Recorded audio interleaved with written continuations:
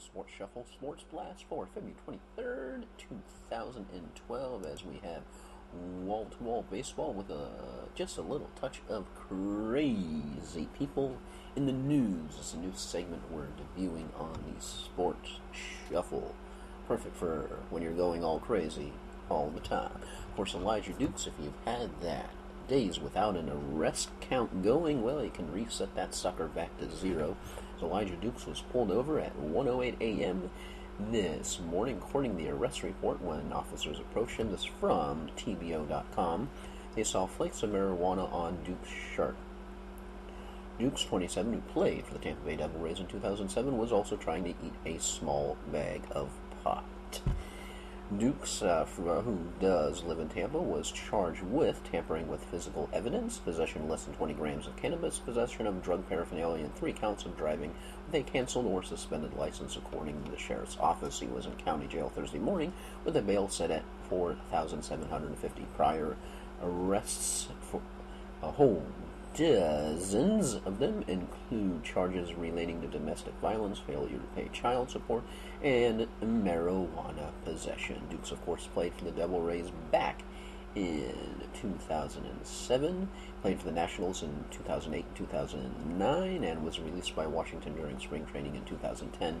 Dukes was the third round pick in 2002 for the Rays out of Hillsborough High. So, uh, yeah, Elijah, welcome back to the limelight, not the good limelight there. And link to the story is down below. Then, of course, we have from going mm, all duking it out and or going to pot. I, I think we'll choose going to pot better as the, that story. How about this, folks? As uh, the Miami Marlins are being inexplicably sued. This is from CBSSports.com. Eye on Baseball, a story by Matt Snyder. Just a little bit of it is, of course, linked to this down below. Would be, hey everyone, it's frivolous lawsuit time. Apparently, back in February 2008, there was some sort of awards banquet with an auction in Miami. Marlins president David Samson, who doesn't own the team, mind you, said the first item up for bid was a Marlins and he'd sell him for 10 million, seemingly as a joke. And a man said that he bid the 10 million, which surely was seen by everyone in attendance as furthering the joke. Instead, O'Moran's and Lansma Corporation Florida is now suing the Marlins, believing it bought the Marlins for 10 million, and the Marlins have breached contract and will include the court filing PDF in the links down below. So is that crazy enough? I mean, with the Marlins spending 191 million dollars, uh, do you seriously expect that somebody would? Oh yeah, 10 million, no problem. Think about the ROI on that: $10 million, $191 million, and that was spent just this year. Apparently, somebody needs to get a clue. And of course, the third story, since it's wall-to-wall baseball, how's about this, folks? We have, of course, publicly Evan Longoria coming forth with the fact that he is, has been in fact, dating Playboy Playmate Jaime Edmondson. Of course, you've been following both of them on Twitter. That's kind of been a note from the no duh file. But now, the second Tampa Bay Ray is dating, well, one's dating, now is dating back again, a Playboy Playmate, quite surprisingly, or not surprisingly, Reid Brignac was dating playmate Lauren Anderson. This, according to Rays Index, and we'll put the link down below. Was dating playmate Lauren Anderson. That they may have broken up, but a reader tipped Rays Index off that the two are back together and are expecting a baby. So, how about that? I mean, kind of wonder if the old pressure's on Mr. David Price now, who recently, of course, was seen in a commercial. If you saw the whole Finger Mechanics commercial where he's oh so close to supermodel Kate Upton, who David Price will maybe date, maybe not, or maybe he's already dating somebody and he's just not saying anything or keeping it down low. Who knows? But all sorts of craziness going on. Hey, that's all I'll say because you know what?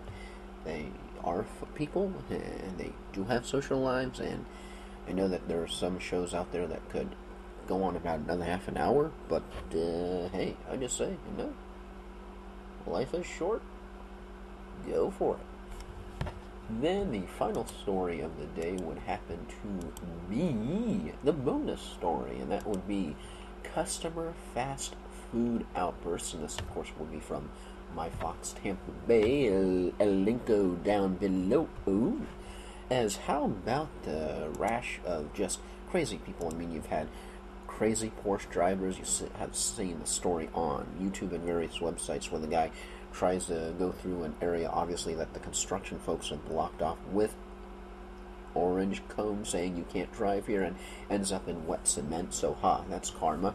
But it's not only stupid people on the road, it's stupid people in restaurants and also crazy and stupid people. So, here's some snapshots of just some of the quick stories as according to Largo police. This happened at a KFC in Largo. There was a 24 year old who got so tired of waiting that she began yelling at the customer in front of her in the drive through to hurry with the order. The argument allegedly turned heated up from there, from screaming to ramming the car in front of her right in the drive through lane, then, then flying off. Then the woman faces several charges, including reckless driving with an aggravated battery with a deadly weapon, the deadly weapon being her vehicle. And you think, that's crazy? How about this one? There's actually the videos on the My Fox Tampa Bay where a Missouri woman got so upset with her order she shoved cash registers off of the counter because she didn't like her burger. In Ohio, a customer wanted chicken McNuggets, but the breakfast was, but the restaurant was only serving breakfast, so she hit the employee in the face and smashed through the drive-through window. There's even a man in Texas who was so mad about burrito prices that he fired his gun at an employee. Holy shinoli, folks. So, who's, and by the way, I'll edit myself, that was, restaurant was serving breakfast, not breakfast serving the restaurant. It's very hard for breakfast to serve a restaurant, though I'm sure it's some alternate quantum reality somewhere. In fact, breakfasts do serve restaurants, just not in this one. So, which crazy folks gets the award? Which crazy person? Is it the person who rams the car in front of her after getting an argument in the drive-through line? Is it the woman who shoves the cash register off the counter because they don't like their burger? Is it the person who, because it's, they're still serving breakfast and McNuggets aren't on the menu yet, are punching employees through a window?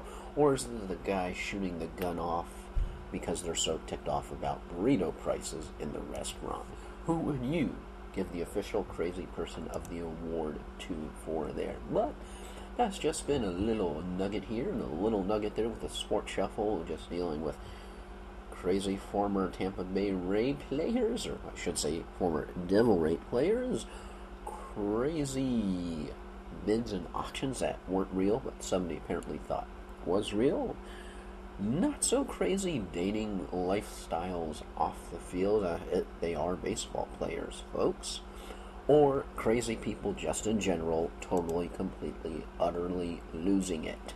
as I said, we're all crazy all the time. Don't forget to give me a follow on Twitter at Sport Shuffle and give me a like on Facebook, because I like it like that. Hamper Boy Mouth has been in the zone behind the microphone, all crazy all the time on the Smart Shuffle, because we just do that thing and that we do whatever that thing is. I'm not sure yet. If you let me know what it is i'll figure it out too or something. I'm me you're you and i am g to the o to the n to the e